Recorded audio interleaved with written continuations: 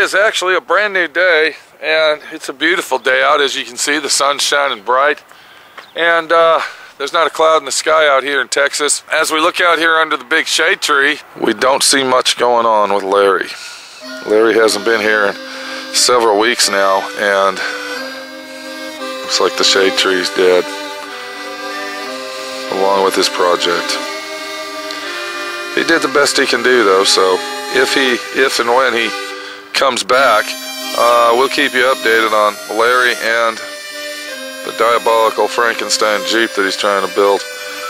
Because as of now, that shit's going on. But what we got going on over here um, is a 1955 Buick station wagon. Now, this is kind of a special station wagon. Uh, this was a close friend that I had met through YouTube um, that became really close friends with me. And this this station wagon is a one owner station wagon. It belonged to his family out in California. It's a rust free car, beautiful car.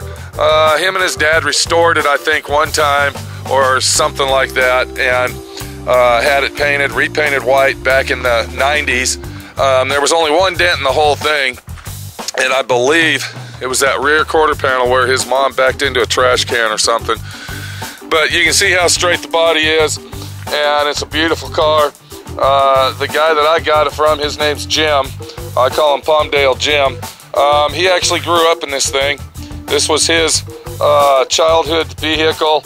His dad bought it for his mom brand new, went all the way to Ohio to pick it up and brought it back. And she didn't like the color, so he took it over to the paint shop and had it painted white. Uh, now that was back in, of course, 55. And then, of course, it uh, the paint flaked off and peeled off, this, that, and the other. And Jim's dad decided to have it repainted again. And that's basically where it ended, right where you're looking at it. Now, Jim said that this car does run. Him and his dad did some mechanic work to it. Um, I don't know what they did exactly, but did something to it. Now, we got all the pieces for the vehicle in the car. All right, all the pieces are inside the car. Um, we're not putting it together yet because we don't know what we're going to do with this thing yet, but uh, what the real deal is, is we want to get this thing running. Now, Jim, Palmdale Jim also said that there might be some situations with the transmission. Now, on this particular vehicle, that's not good. That's not good because that's a Dynaflow transmission and the thing weighs probably uh, 700 pounds. It's a in-tube drive shaft, so you got to split the uh, drive shaft from the uh, transmission, pull the rear end back away from it. Uh, into drive shafts are a pain in the ass. But, uh, and then you got to take the transmission out, of course, and all this other shit. And then to rebuild the transmission is very, very expensive. Now, inside the car, if you look inside the car there with the yellow tape on the box that I'm focusing in on, um, yeah, right there, that is a master rebuild kit for the transmission itself. Uh, it's an NOS Buick uh, transmission kit for this transmission. But uh, Palmdale Jim said he didn't know if the transmission was bad or if it was low on fluid or what was going on with it. So we don't know. We don't know, but we're gonna check it out. I know it needs an overall brake job done to it. The suspension on it is very, very poor. Uh, but you're looking at a 1955 Buick station wagon, so you're gonna run into problems like that. The first thing that we want to do to this car, though, is we want to go ahead and get it running. Palmdale Jim, he said that uh, it was a running car, and he used to start it up till about a year ago or something like that. Uh, and, and, then he'd run it for a little while, and then of course he'd turn it off. But he never really drove it because he always thought something was wrong with the transmission. Um, so I, being my friend Pete, decided to go ahead and put a battery in it. And when I put a battery in it, it seemed like all the electrical was working. We turned the key on and everything else. But on these Buicks, it's a special situation how you start these. You don't start them with the ignition switch, you start them with the throttle pedal, and you have to mash the pedal all the way down to the floor because the switch is actually on the carburetor itself. So when I went to do that, of course, the uh, pedal would not move at all. And then after further investigation, we came to the conclusion that all of this linkage inside the carburetor is froze up. Now, if you take a good look right here, I don't know if you can see it from there, and we're going to go ahead and remove the carburetor off of the vehicle because that carburetor needs to be completely rebuilt. Um, there's a little uh, mechanism right here that's actually bolted to the carburetor. And what that is, that is actually the starter switch that starts the car. Um, this is a switch that actually goes to the uh, starter and then once this is engaged then the starter kicks in and starts and then you let off the gas and then of course your car's running. So what we got is a situation and uh, this is a deal that you got to take it one step at a time. Now um, Palmdale Jim said that they did do some type of motor work to it. I don't really remember what the motor work was but uh, let's go ahead and start with the carburetor first. This is a 322 nailhead very, very popular hot rod industry engine.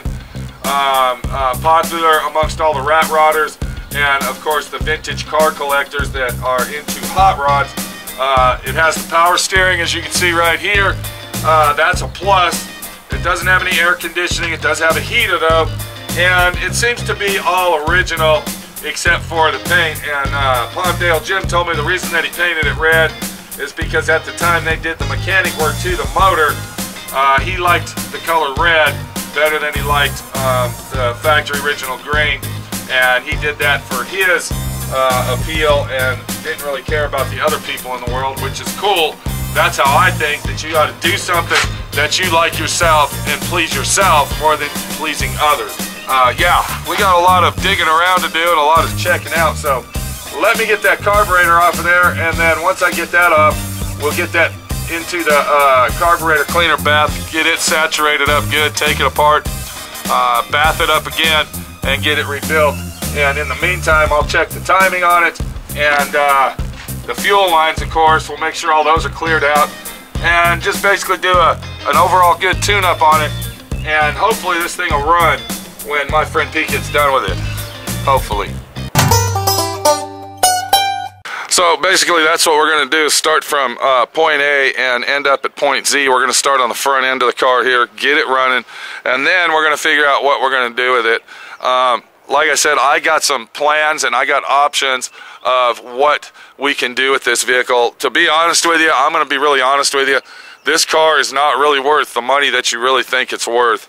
Uh, being a uh, station wagon, uh, four-door at that, and being a big old boat, it's really not worth the money of restoring this type of a vehicle. But uh, we're going to do the best we can on it and see what the hell's going on. And hopefully, my friend Pete will come up with ideas and and and, and features of how to make the old station wagon worth the value that it should be and also be the eye catcher that it wants to be. Um, old station wagons are a thing of the past, basically, and they're really not uh, an eye appealing type vehicle. Um, if this was 1988 or 1995, they were still popular back then. They were still popular and a lot of people wanted them. But to be honest with you, the old station wagon, uh, being a car like what we're looking at back here, is actually more popular as a rat rod situation than it is a restored situation.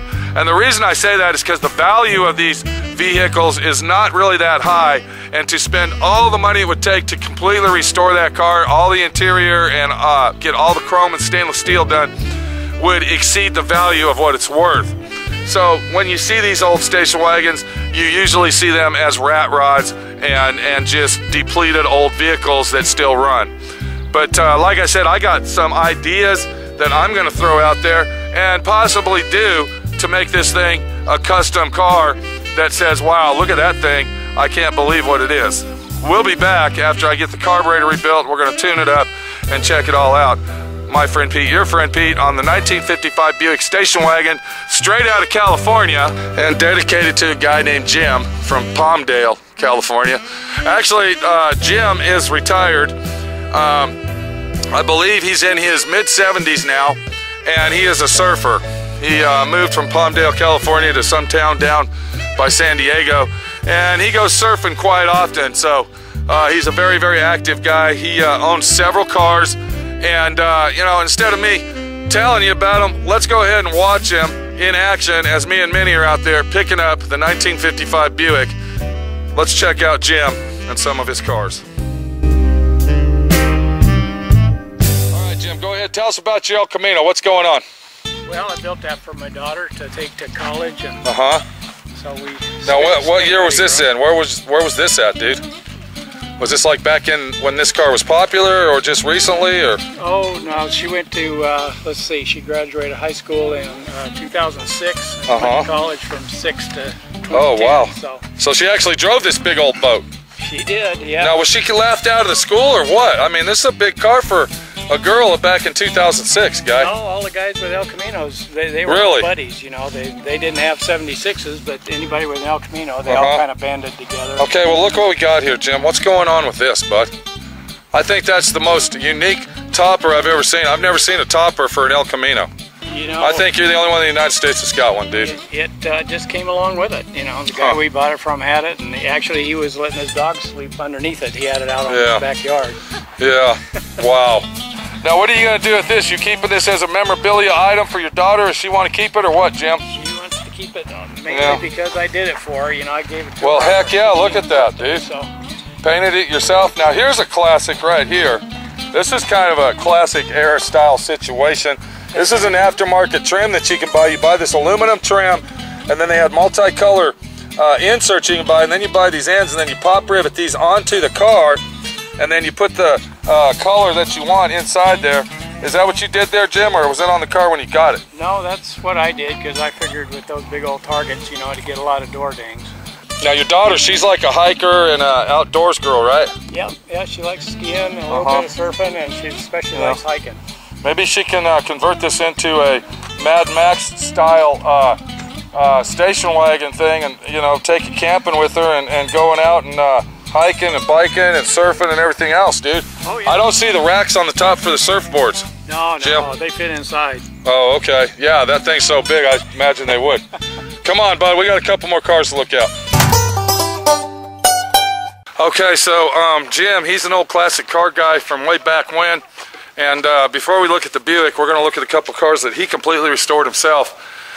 And, uh, well, we just saw the El Camino, but this other one is a special car, I guess, to the guy. It's a 1966 Chevelle Super Sport SS uh, 396 big block car, factory original, and he restored it, and uh, it's going to be a beau- it's a beautiful car. So let's take a look at this one. All right, Jim. It looks like what is you got two Chevelles here. One's a 71 and one's a 66. Let's check out that 66 because that's like a, a, a classic uh, car from hell. And if I'm looking at it right here, it says SS396. Is that a factory matching big block car, Jim, or is that just a sign you put on there to make it look like one? No, that's exactly how it came from the dealer. Now, is this the factory original color? Yes, it is. It's called uh, Lemonwood Yellow. Lemonoid yellow. Now, what color was it when you got it? Because did you buy it this color or? Yeah. Oh, okay. I, when when uh, I decided to go looking for it was in July of Uh-huh. '66, and Uh-huh. there was none How long have you had this car? uh, since '66. You've had this since 1966? Yeah, the first car I bought. Well, I. Oh, this car you bought brand new. Uh-huh. Oh, I thought you bought this car just to restore it. No, no, no. Oh, so this is like a brand new car that you've had since 1966. Right. Uh, that's an ARA air conditioning that I put in. It An ARA? What does that mean, Jim? Tell us. Well, back in the 60s and 70s, it was Uh-huh. an aftermarket air conditioning kit Right. that you could buy. Right. And they usually came with a York type compressor, you know, like a Ford. Okay. And uh, but I've put a, uh, uh GM A6 compressor in and all the right Oh, brackets. and okay. Just kept it because it ties in pretty nice, you know. It Wow, I can't. I'm still shocked that this is uh, your first car. See, I didn't know that. Is that the original headliner in this thing? Yes, that's the only thing I didn't replace. Jesus. And these are the seats. I guess they're like. I don't even want to lift that up. Looks like. Did you do that yourself, Jim? Did you put all that? I didn't. I didn't. And the carpet I didn't kit? Make them, but I installed it. Oh wow. it's all kid stuff. Yeah. What What do they call those hooks? Uh, bullhorn hooks. Are they Uh, hog rings. Hog ring. There you go. Brand new door panels and all, huh? Brand new rubber. Original door panels. Those are the original? Just, uh, cleaned them with some of that. Uh, God, dude. Wax, uh, Original glass. Safety light glass. Original glass on the uh, on the sides. Uh, the back is original. What about the door handles? They're they're all original. Just cleaned. And buffed and straightened all the trim. Oh, uh, stainless trim. Mm-hmm. Oh, so you knocked all the little dings out of that yourself and polished it out with your buffer. And, so you did all this yourself, by yourself. A whole myself. Yeah. Look how straight that is. Was there a lot of body work on it, Jim? No, no, I, I never really had much more than uh, parking lot dings. Jeez, bud. And then of course we got the big block 396. Now on these 396s, did it come with all that chrome on there like that, or was Yeah. that something you had? Oh, yeah. Oh, so that was factory original stuff. Factory. This is a 360 version. The 360. Now what's that mean? Well, there at that time that was their horsepower rating. It's uh, Okay. a 325, a 360, and a 375. So this was the in the middle of the road jobber. Okay. And I bet it still gets up and screams, huh? I, I love it. Yeah. Now, uh, being the original owner, I guess these are all the original fenders, original hood, doors, everything. Nothing's been changed. Original California car. Only thing's been changed is the uh, uh, trunk filler. You know, rust, The trunk filler. yeah, you know, right, the, where it rusts out at the bottom. Oh, okay, okay. Oh, this panel here. Yeah, You replaced that? yeah, You did that yourself? yes, sir.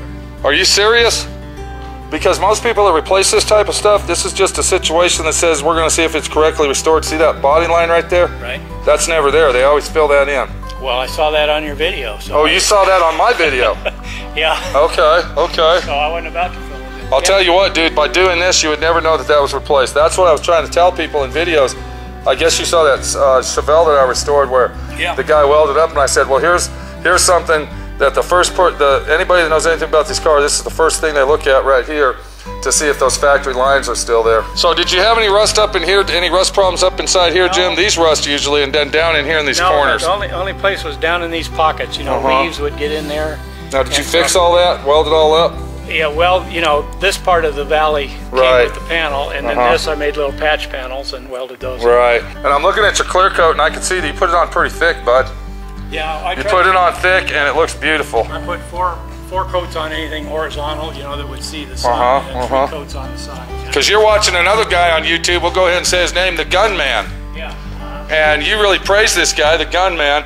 He's taught you a lot on painting cars and taught you what guns to buy and how to use them. And you really learned a lot from this guy called the Gunman. Am I correct? You are. And that's a YouTube channel name, Gunman. Am I right? Yes, sir.